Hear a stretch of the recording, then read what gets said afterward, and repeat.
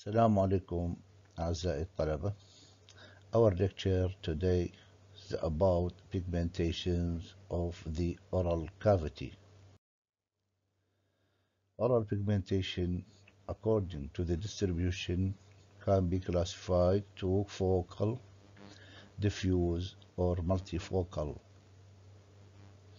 According to the color classified to blue, purple, brown gray or, or and black and such color change can be demon, uh, attributed to the deposition of endogenous or exogenous pigment يعني discoloration of the oral mucosa and the two sources واحدة من أدب endogenous من داخل الجسم واحدة exogenous من خارج الجسم The endogenous pigmentation is most often explained by the deposition of the hemoglobin, hemosiderin, and melanin, while the exogenous pigments are usually tra traumatically deposited directly into the submucosa and some may be ingested, like heavy metals.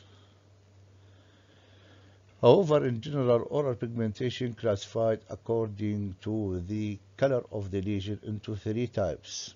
First one, blue-purple lesions. Second, brown melanotic lesions. Third, gray-black lesions. Okay, the first group, blue-purple lesions. We have many lesions under this group. First one, varicose أو varicosites.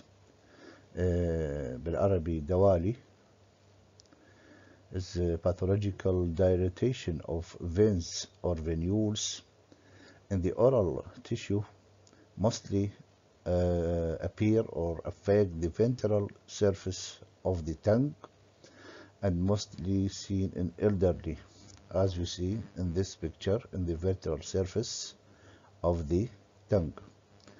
The lesion appear tortuous tortuous يعني شو متموج tortuous blue red purple elevation they are painless without pain and are not subjected to rupture and hemorrhage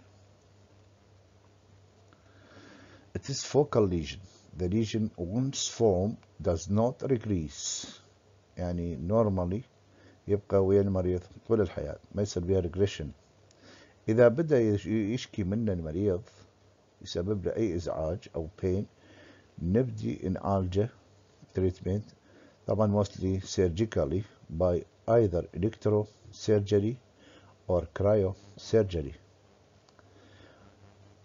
if can be treated without surgery you can use intralesional 1% صوديوم صوديوم تتراديسيل سلفيت انجكشن طبعا نستخدم وياها analgesic like codeine or aspirin because this injection is painful the second lesion hemangioma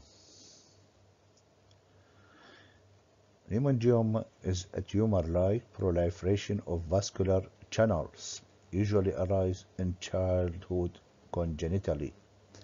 The lesion found on the skin mostly uh, in the scalp and connective tissue underlying the mucous membrane. In majority of cases, the lesion regress after puberty.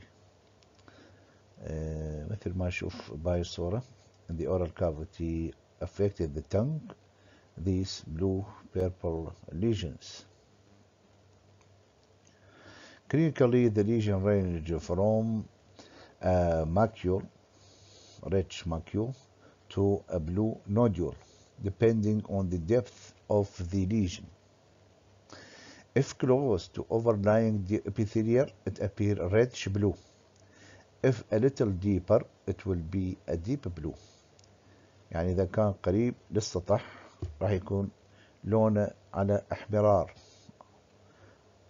إذا كان ديب يكون على شكل بلو طبعا هذه نقدر نسوي اكسبلينيشن أطلب من عندكم ليش؟ يعني إذا قريب السيرفس ريتش وإذا ديب يكون بلو أرجو أنه تجاوبون عليه بالكلاس بالتعليقات. The region may be focal or diffuse and the region blanch under pressure. طبعا هاي diagnostic feature for hemangioma لما نجي نضغط عليه بصبعنا يروح كل هذا الكلر ويصبح الكلر مالته وايت. من نوخر البريشر؟ نوخر اصبعنا يرجع الكلر ريد اور بلو. Treatment like the uh, varicose either by surgery conventional or cryo surgery. uh, even laser surgery can be used to treat the case. Also if large lesion you can use 1% sodium tetradecyl sulfate intralesional injection. هذه الماتيريال يعتبر سكليروزنج ايجنتس يعني يسوي بها فايبروسيس وينهي المشكله The third lesion Kaposi sarcoma Kaposi sarcoma is a malignant vascular tumor In the oral cavity, the tumor are red, blue, and purple, mostly occur in hard, palate, but in the skin, the dorsal aspect of the feet and great toe are the favorite site. The tumor clinically appear as flat red macules of variable size and irregular borders. The lesion may appear as focal lesion, but mostly are multifocal with numerous isolated and coalescing plaques. Eventually, these lesions increase in size to become nodular, and some will involve the entire palate protruding below the plane of occlusion and interfere with mastication. Uh, as we see in this picture, this is the favorite size of Kaposi sarcoma, the hard palate, uh, uh, somewhat in the posterior part of the hard palate, this is the favorite size of the Kaposi sarcoma in the oral cavity. The region commonly associated with AIDS, one of the feature of the AIDS.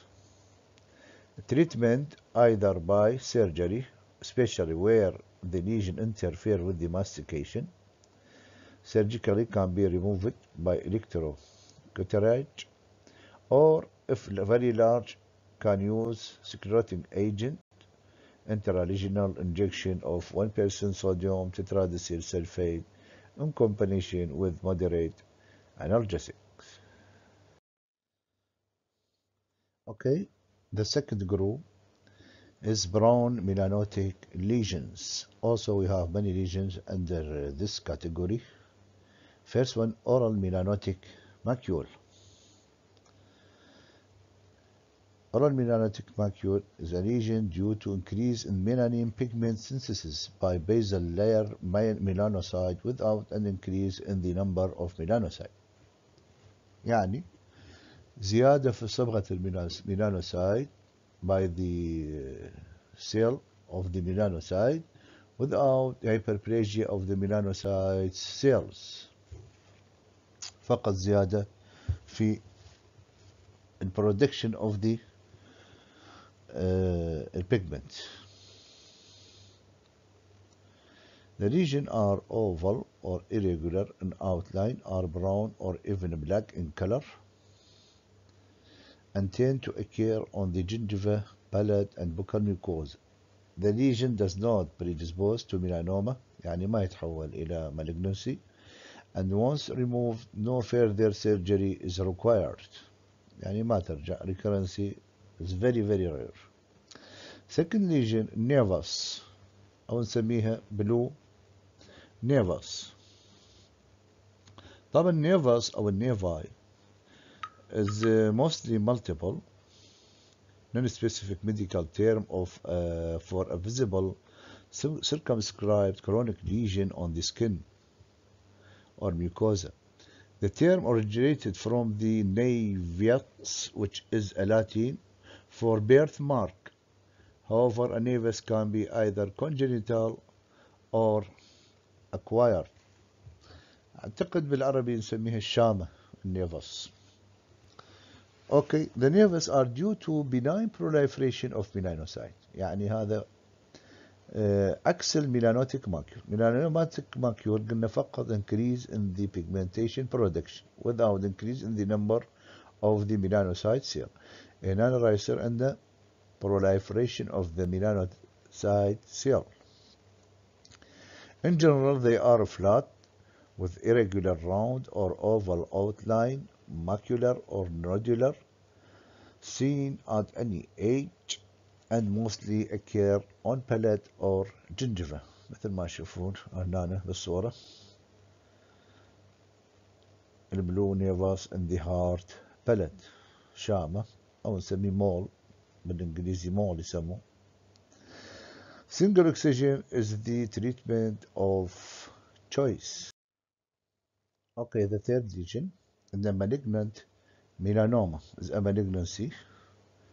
Uh, lesion are extreme, extremely rare but mostly seen in Japanese. يعني اليابانيين أكثر الناس يشوفون بها المالجنانت melanoma. In the oral cavity tend to occur on the anterior labial gingiva and anterior aspect of the hard palate.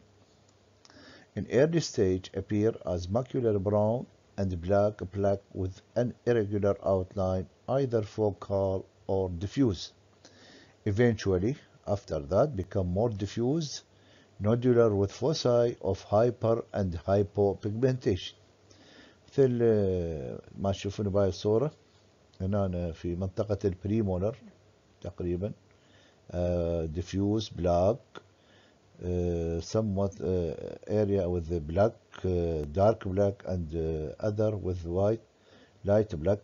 عفوا طبعا المالجنال ميلانوما من كلينيكال الفيتشرز مالته البلاك الليجن نشوف بها مناطق متباينة باللون دارك ولايت وهذا اللي يخوفنا في الميلانوتيك ليجن فمن نشوفه يعني متوزعة بين الدارك واللايت قد نتوقع هو المالجنانت ميلانوما.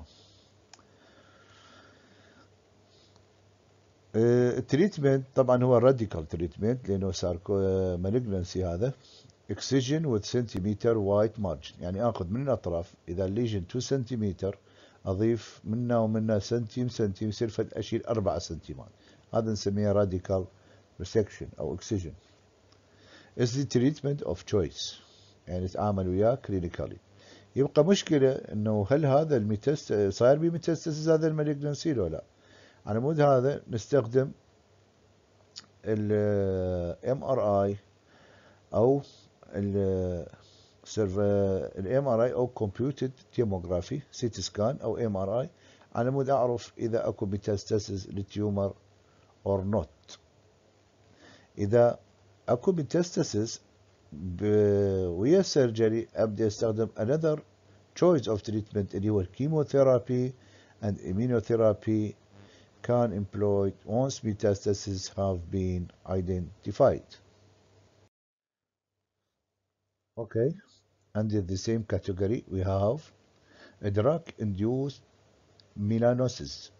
A variety of drugs can induce oral pigmentation. This can be large localized, usually to the hard palate, or multifocal throughout the mouth. The lesions are flat without any evidence of nodularity or swelling. The most drugs are antimalarial drug, uh, minocycline that used in the treatment of acne, uh, medications used in the treatment of autoimmune disease, oral contraceptive and pregnancy are occasionally associated with the hyperpigmentation of the facial skin, particularly in the periorbital and perioral regions. This condition in pregnancy is known as chloasma. Another group uh, under the same category we have physio uh, physiologic pigmentation. These appear as multiple diffuse brown macules, mostly in the facial and lingual gingiva and tongue. This physiological variation mainly seen in black, Asian, and dark-skinned Caucasian. Now we are going to the last groups of these pigmented lesion, which is a gray-black pigmentation. We have also three uh, lesions occur under this category. First one is amalgam tattoo. tattoo كلكم تعرفون معناه شلون يعني هاي اللي خلوه على الايدين Tattoo is the most common source of fungal pigmentation in the oral mucosa. هو most common pigmented lesion in the oral mucosa. The lesions are macular and bluish gray or black and are usually seen in the buccal mucosa, gingiva and palate. Usually result from small amalgam particles that accumulated during removal of amalgam during the preparation of the tooth restored with amalgam for fabricating of crown and then traumatically introduced to the mucosa or by a fall of metal particle into the extraction socket and during the healing phase the amalgam embedded within the connective tissue شنو معناه مثل ما تشوفون بهاي الصورة هاي the between the canine and the premolar we have a pigmented lesion هذا نسميها amalgam tattoo إذا أجي أنا خلي أوقر هذا الميكوزا ألقي جوا particles of the amalgam يقول لك شلون يوصل الأمالجم إلى هذا المكان يقول يقول أما during the preparation of tooth هذا التوث filled with the amalgam وأسوي له preparation لما أحضر كراون فأثناء عملية البريبريشن هذه البارتيكل قد بواسطة التوربين with the trauma قد يدخل this particle under the mucosa in the connective tissue أو في حالة أني مثلا أحشي هنا amalgam tooth with the amalgam وعندي بصفة عندي بصفة a socket of extracted tooth بعد ما صاير complete healing يعني أثناء البريبريشن قد يوقع يعني particles of the amalgam within this socket adjacent to the tooth ويبقى under uh, the mucosa in the connective tissue within the healing appear like this pigmentation. The tattoo are innocuous يعني ما عنده sign or symptom and removal is not required.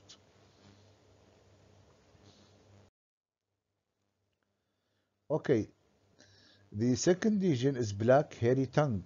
Black hairy tongue uh, actually is a common condition of unknown etiology.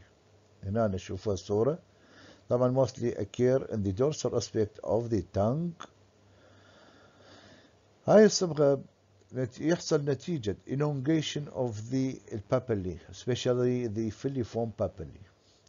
من يصير عندي زيادة في الالongation يصير منطقة of stagnation of the food or any other uh, colonization of the bacteria especially the chromogenic bacteria chromogenic bacteria يعني البكتيريا اللي البرودكت مالته يكون على شكل pigments إذا نتيجة زيادة في elongation of the filiform و accumulation of the food و colonization of the uh, chromogenic bacteria this lesion occur اللي نسميها black hairy tongue The lesion treated by instruction the patient to brush the tongue. نقول للمريض افرج الدورسال aspect of the uh, tongue uh, avoid tea or coffee for uh, several weeks. في بعض الأحيان اللي هو very rare يصير very severe يعني elongation of the filiform يكون very very severe قد نستخدم surgical treatment by shaving of these elongated papillae. Uh, after the treatment, إذا كان by brushing or by surgery, the condition can recur. بس ما يشكل يعني فت خطورة not dangerous. كل ما هنالك discomfort for the patient. Uh, the last lesion in this lecture is heavy metal ingestion.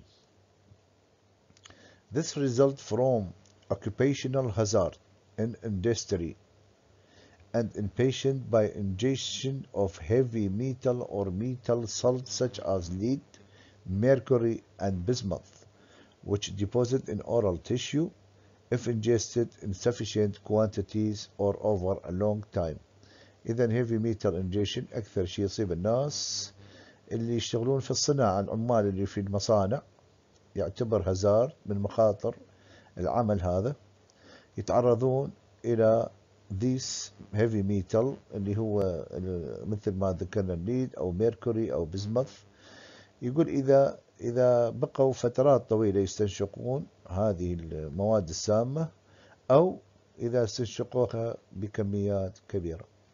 شكرا جزيلا وإن شاء الله نلتقي محاضرة جديدة.